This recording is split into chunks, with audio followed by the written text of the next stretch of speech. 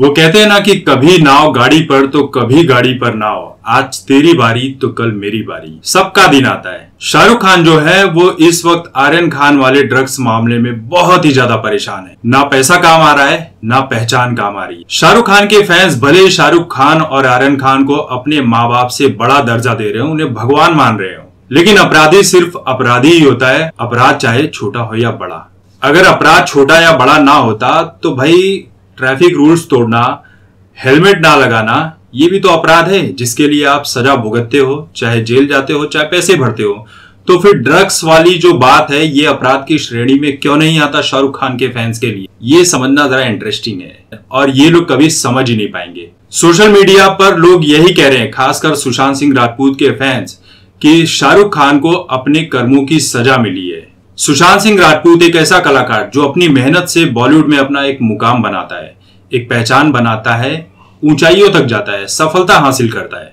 जो शाहरुख खान जैसे स्टार को अपना आइडल मानता है, जो ये कहता है कि शाहरुख खान मेरे आइडल हैं, मैंने उनसे बहुत कुछ सीखा है। लेकिन उसी शाहरुख खान ने सुशांत सिंह राजपूत के साथ कितना गंदा बर्ताव किया था, भरी सभा के बीच में, स्टेज के ऊपर अवार्ड सेरेमनी के दौरान। ये बात हम सभी ने देखी है। यहाँ तक कि सुशांत सिंह राजपूत की मौत के बाद जब तस्वीर भी शेयर करते हैं तो स्क्रीनशॉट लेकर गूगल से उन तस्वीरों को ट्वीट करते हैं। क्या सुशांत की इनके पास तस्वीर ही नहीं थी? चलिए मान लेते हैं, तस्वीर नहीं थी, आपने स्क्रीनशॉट लिया था गूगल से। इतना बड़ा प्रोडक्शन हाउस है वीएफएक्स का काम करते हो एक छोटा सा फोटोशॉप का काम था। वो करवा के स्क्रीनशॉट वाला जो क्रॉस था, उसे तो कैंसिल करवा देते। इतना भी नहीं हो सका। क्योंकि भाई इतना मैटर नहीं करता होगा सुशांत सिंह राजपूत शाहरुख खान के लिए। कई लोगों ने शाहरुख खान के बचाव में, जो उनके फ़ैन है, ये कहा था कि ये जो अवार्ड सेरेमनी हुई थी, ये स्क्रिप्टेड थी। स्क्रिप्ट के अनुसार ही वो लोग काम कर रहे थे। लेकिन ये उस स्क्रिप्ट का हिस्सा था, जिसे सुशांत सिंह राजपूत जैसे बाहरी कलाकार को बदनाम करने के लिए रचा गया था। कि आखिर कैसे एक बाहरी लड़का अपनी मेहनत के दम पर रातों रात सुपरस्टार बन जाता है?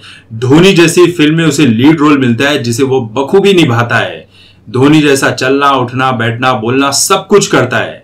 एक आम इंसान, एक आम सा कलाकार इतना बड़ा सुपरस्टार बन के इनकी कैटेगरी में आकर खड़ा हो जाता है, जो बात इन सभी लोगों को बेहद बुरी लगती है। एक के बाद एक उसे फ़िल्में मिलने लगी, इतना शोहरत, मान, सम्मान सब कुछ मिलने लगा, उसका स्टारडम बढ़ने लगा ब्रांड वैल्यू बढ़ने लगी तरह तरह के विज्ञापन मिलने लगे जगह जगह पर चीफ गेस्ट के तौर पर बुलाया जाने लगा। ये बात इन बॉलीवुड वालों को हजम नहीं हो रही थी। इसीलिए पीआर स्ट्रेटेजी के खिलाफ सुशांत सिंह राजपूत के अगेंस्ट बहुत सारी चीज़ें रची गई। तो भले ही शाहरुख खान के फैंस ये बोले कि शाहरुख खान जो है, वो अपनी मेहनत के दम पर, वो भी आउटसाइडर थे, यहाँ तक अपनी मेहनत के दम पर पहुँचे हैं, वो सुशांत सिंह राजपूत की कद्र जानते हैं, मेहनत करना जानते हैं।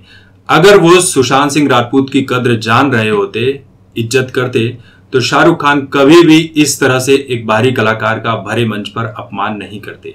जिन शाहरुख खान के फैंस को ये लग रहा है कि ये स्क्रिप्टेड था, हँसी मज़ाक का एक हिस्सा था। तो बता दें उन्हें कि इस इवेंट के बाद सुशांत सिंह राजपूत काफ़ी निराश थे, परेशान थे, हताश थे। क्योंकि उन्होंने सोचा नहीं था कि जिसे वो अपना आइडल मानते हैं, वो भरे मंच पर उनकी इस तरह से इज़्ज़त निकाल देगा। ये बात सुशांत सिंह राजपूत ने अपने दोस्त को बताई थी, जो उनका जिम पार्टनर था, और जिम पार्टनर ने यह बात मीडिया में बताई थी सुशांत सिंह राजपूत की मौत के ठीक बाद।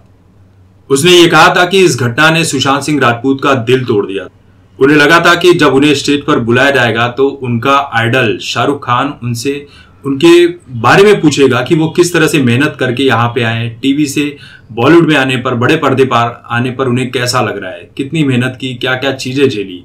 लेकिन ऐसा कुछ भी नहीं हुआ। वहाँ पर उनका सिर्फ़ और सिर्फ़ मज़ाक उड़ाया गया, उनके फैमिली तक का मज़ाक उड़ाया गया कि ये जो डांस करता है, इसके घर वाले ही दो चार लोग इसे देखा करते होंगे। सुशांत सिंह राजपूत, ये कोई नाम है? ये तो एड्रेस है। तरह तरह की बातें की गई। इन बातों को सुनकर सुशांत सिंह राजपूत जो है, वो बहुत अनकंफर्टेबल दिखाई पड़ रहे थे, लेकिन वहाँ बैठी जनता हंस रही थी। शाहरुख खान और शाहिद कपूर बहुत ही बेदर्दी से सुशांत सिंह राजपूत का उस समय मज़ाक उड़ा रहे इसी तरह का मज़ाक जब शाहरुख खान ने भरी सभा में नील नितिन मुकेश का उड़ाया था, वहीं पर उनके पिता बैठे थे।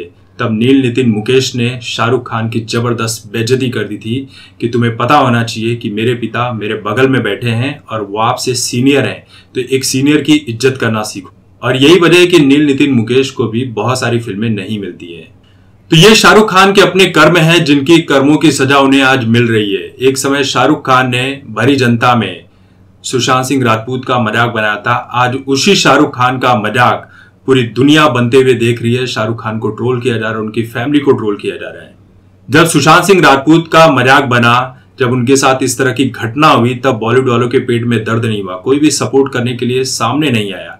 लेकिन आज जब शाहरुख खान का मज़ाक उड़ाया जा रहा है, तब बॉलीवुड वालों के पेट में दर्द हो रहा है कि हमारे शाहरुख का मज़ाक क्यों बना रहे हो? ये बात बॉलीवुड वालों को बुरी लग रही है। तो यही है कि अपने अपने कर्मों की सजा सबको यहीं पर भुगत कर जानी है, चाहे वो आम हो, चाहे वो खास हो चाहे बाहरी हो चाहे भीतरी हो चाहे कोई भी हो।